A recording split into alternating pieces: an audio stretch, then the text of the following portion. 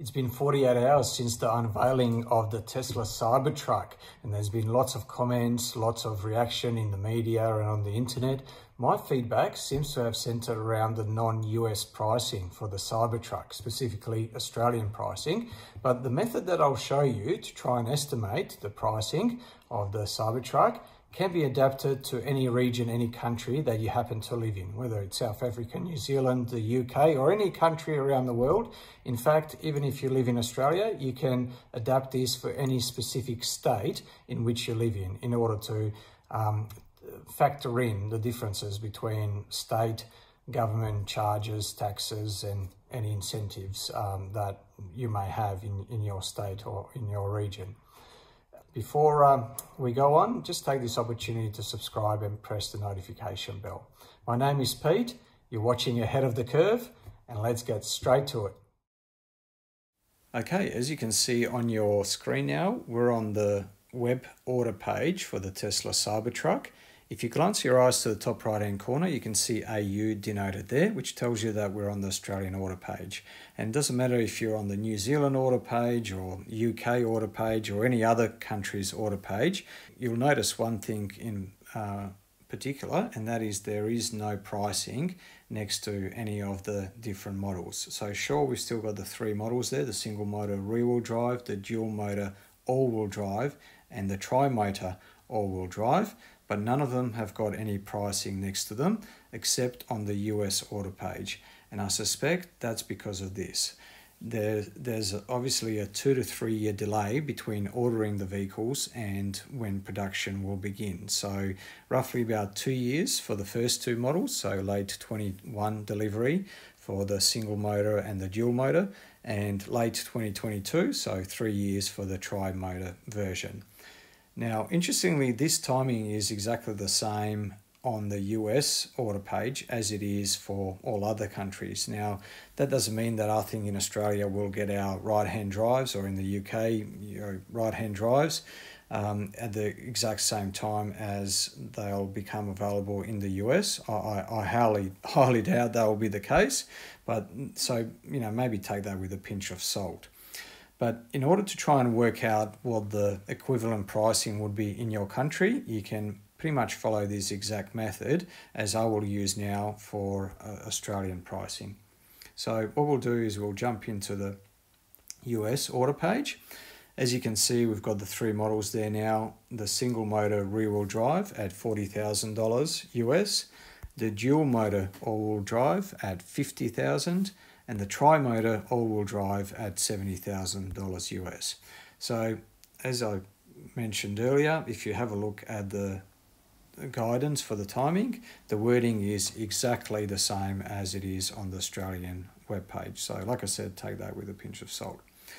Now, single motor rear wheel drive, $40,000 US. So let's just quickly uh, have a look as to what that would be uh, for a similarly priced car that we already know the pricing of. So this is the US page, order page for the Model 3.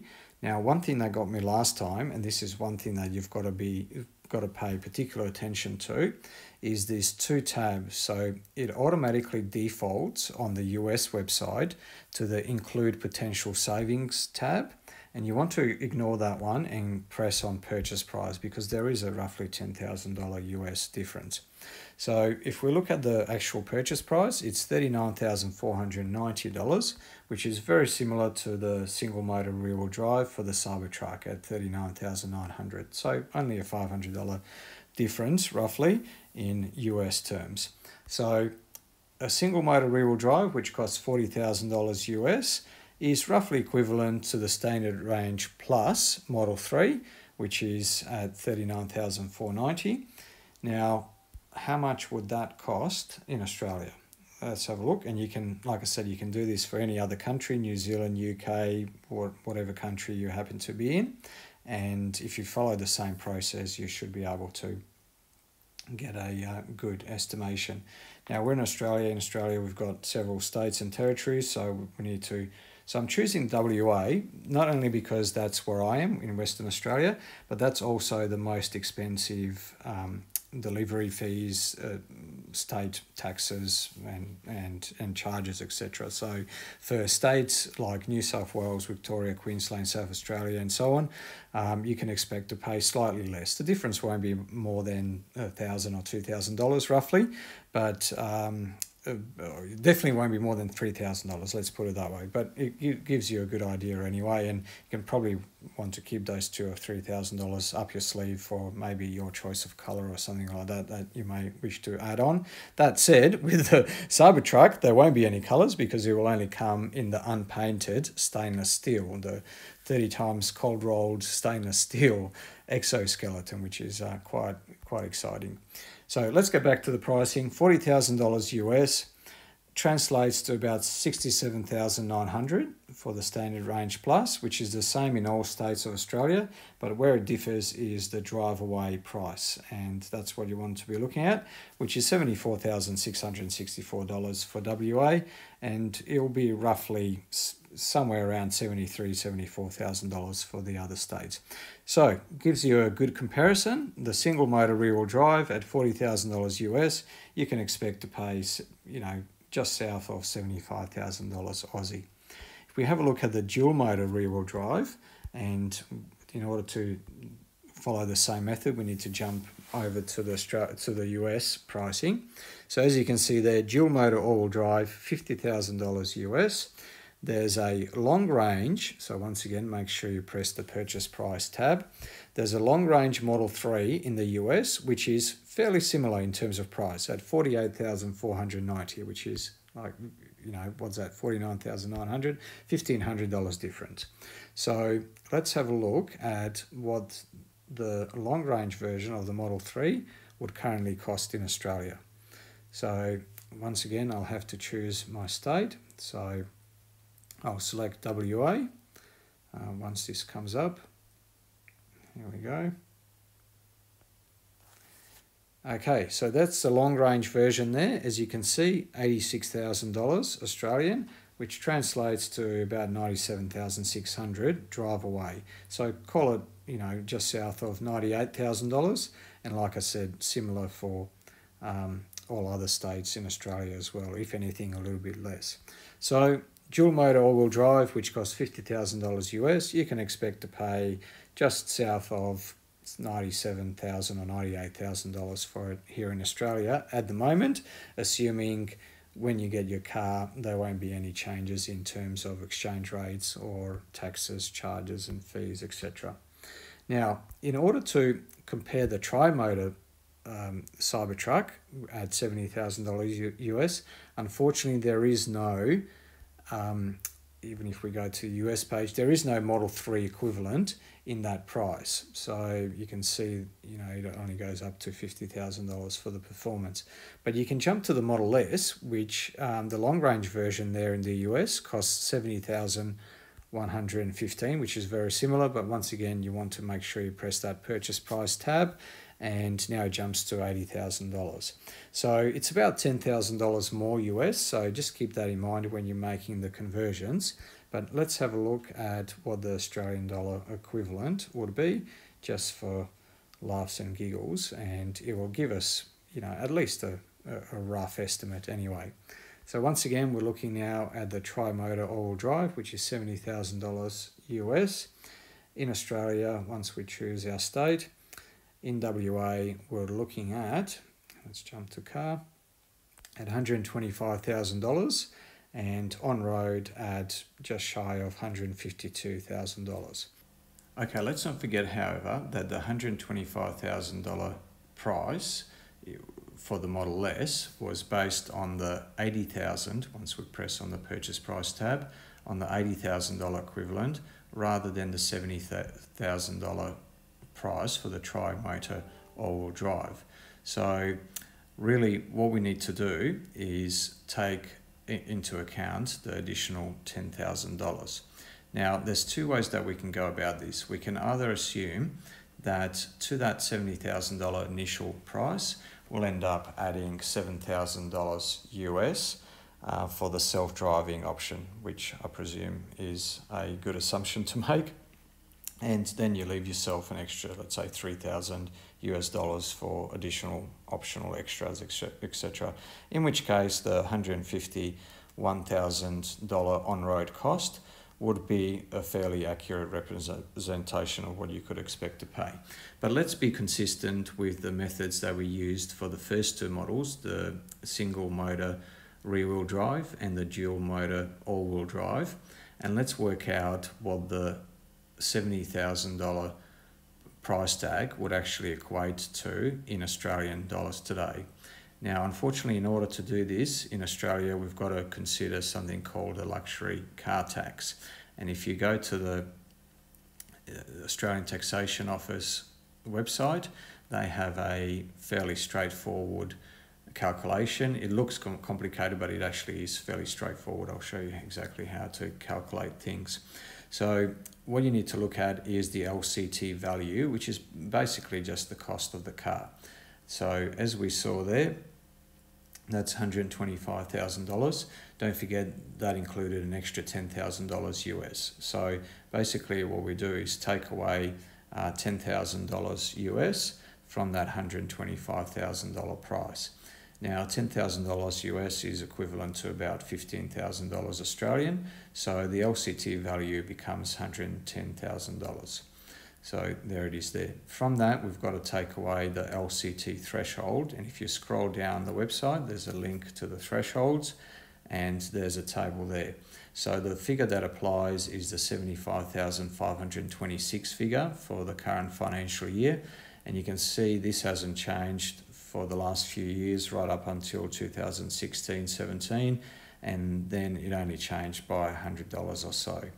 Um, so you can see the whole table right there. Obviously the figure is a little bit higher for fuel efficient vehicles, which is fantastic.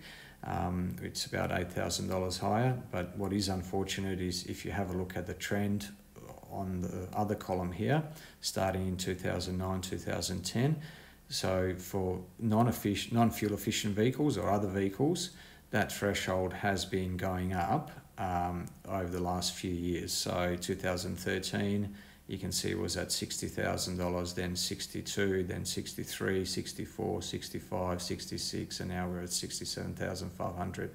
So the, the threshold for other vehicles has been going up, um, but perhaps it hasn't been um, going up as, as fast for fuel efficient vehicles, which is uh, a little bit unfortunate, but um, we've got to deal with um, the regime that there is in place here. So um, get it, going back to the calculation, um, let me just go back to the, here we go. So there's the, there's the um, formula. So LCT value less the LCT threshold. So LCT value was 110,000 less the 75,526, which was the threshold. Then we've got to multiply by 10 from memory, divide by 11, multiply by 33%, and we get $10,342, which is the luxury car tax component of the car. So we'll add that to the cost of the car, which was $110,000. So for a tri uh, motor all wheel drive, that costs $70,000 US, um, you can expect to pay $120,000 Australian um, equivalent, uh, assuming all else remains unchanged. So 70,000 US translates to $120,000 Australian. Keep in mind, as I said before, there's a there's going to be a difference in terms of when you order the car and when it comes for delivery, and lots can change, especially exchange rates, as well as government taxes and charges can change in that period of time. Speaking of government taxes and charges, what you should consider is whether the luxury car tax applies to you at all. So here we are on the Australian Taxation Office website again, and you can see on the left hand side there, there's a menu here and we can click on when LCT doesn't apply. And you can read through all this and see if it applies to you, specifically, you know, where there's an ABN being quoted, if it's used as an emergency vehicle. Um, and also there's another, um, so here we go. it doesn't apply to a motorhome or camper van or a commercial vehicle designed mainly for carrying goods and not passengers. So keep all those, um, have a good read through that, and uh, perhaps speak to your tax advisor to see if um, LCT would be payable in your situation. If it's not, you can um, take away $10,000 from that final cost of the vehicle, in which case the $70,000 tri motor would be $110,000 for you. Okay, so let's now summarise the Australian dollar pricing. So starting with the single motor rear wheel drive, which in the US costs $40,000 before full self driving and other optional extras. The uh, Australian dollar equivalent is roughly about $68,000. And if we include on road costs such as stamp duty, luxury car tax, delivery charges, fees, etc., we're looking at roughly about $75,000 Aussie. The dual motor all wheel drive, which costs $50,000 before full self driving and extras, has a Australian dollar equivalent of about $86,000 and if we include on-road costs it's roughly about $97,000 Australian. If we look at the tri-motor all-wheel drive which costs $70,000 before full self-driving etc that has a Australian dollar equivalent of roughly about $110,000 and if we include on-road costs such as luxury car tax, stamp duty, government charges, etc., we're looking at $120,000. So interestingly, if we're looking at uh, on-road costs, including luxury car tax, the price ranges from 75,000 to 120,000, which is pretty much the exact or very similar to the Model 3 pricing in Australia at, at the moment, which is quite incredible considering that we're looking at a much larger car and a much more capable car. Okay, that's it from me, but I would love to hear what you think. Have you already placed an order for the Cybertruck? And if so, which model did you go for? If you're still sitting on the fence, which model are you leaning towards? And if you're not in the market for a Cybertruck, but nevertheless you find the topic interesting, I'd still love to hear from you. So you can share your thoughts in the comment section below. And this time around, I'll also include my email address in the description section so that you can email me directly. Apologies for forgetting to put that in for the last video. I'll also include my Tesla link in the description section below, which is a website URL that you can click on and you'll be taken to the Tesla website. So if you're in the market to buy a Model 3, Model S, Model X, etc., this link will give you 1,500 kilometers of free supercharging or 1,000 miles and that's irrespective of where in the world you are. So if you're in the market for a new Tesla, make sure that you use that link because those free supercharging kilometers could definitely come in handy. I'll also be very grateful, uh, grateful as well because I'll receive some free supercharging kilometers as well. So that's definitely it from me for now. So until the next video, as usual, stay safe, stay sustainable, and stay ahead of the curve. Ciao.